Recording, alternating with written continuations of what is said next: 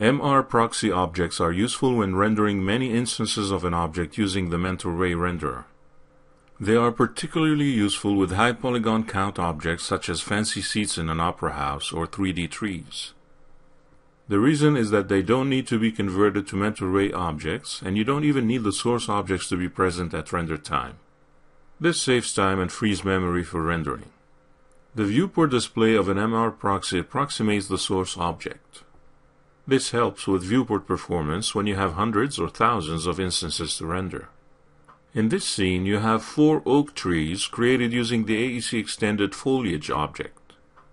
Their level of detail, parameters, and materials have been adjusted to represent the four seasons winter, spring, summer, and fall.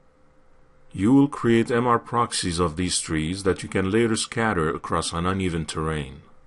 Go to the mental ray Create subpanel and choose MR Proxy. Click and drag a proxy object of any size, and then go to the Modify panel. Click the None button under Source Object, and then select a tree, for example the winter tree. Click the Write Object to File button. Navigate to the folder where you have placed the scene files you downloaded for this tutorial, and then specify a name for your MR proxy, for example, my proxy tree winter.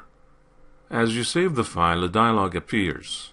Here you can leave the default current frame active in the case of a non-animated object like this oak tree, or you can specify an animation if you are creating an MR proxy of an animated object. Click OK to exit the dialog. The MR proxy object is created as a .mib file format, and a preview.bmp image is created and displays in the panel. The display of the MR proxy in the viewport is done by a set of points, or viewport verts, which mimics the shape of the source object. You can increase or decrease this number to your liking. Keep in mind that increasing the number may have an effect on viewport performance when you start adding multiple instances of the MR proxy. You can also enable Show Bounding Box as a way to frame the volume. You can repeat this procedure to create MR proxies for the other trees, or use the .mib.bmp files you downloaded for this lesson. To load an MR proxy from disk, you create a new MR proxy object of any size, go to the Modify panel, and then specify a proxy file to load.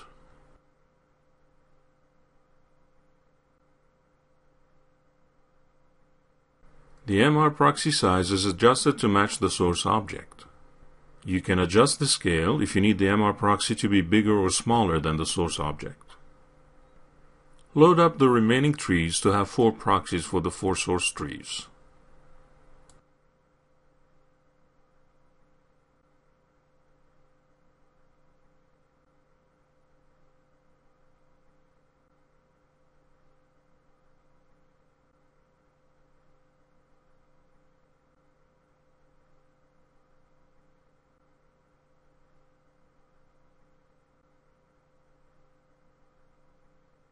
If you render the scene now, you will notice that the MR proxies, although identical to the source objects as far as geometry goes, render only according to their wire colors.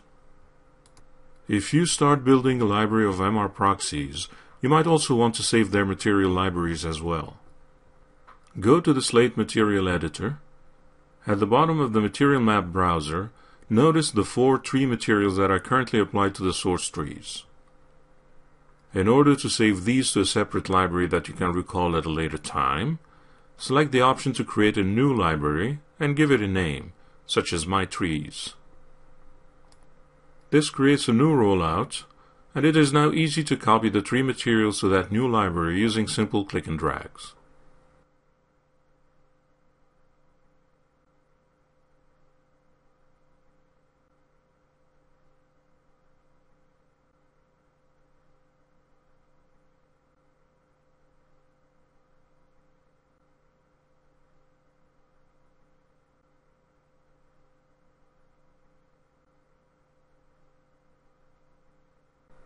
Once done, you can now right-click the My Trees rollout and save it as a .mat file and store it to disk.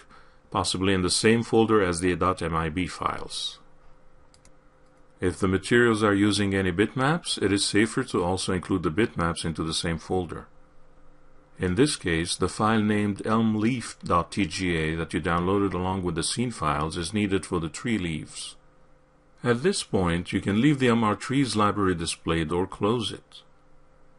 If you need to reopen it, you can do so again using the Browser's Option button.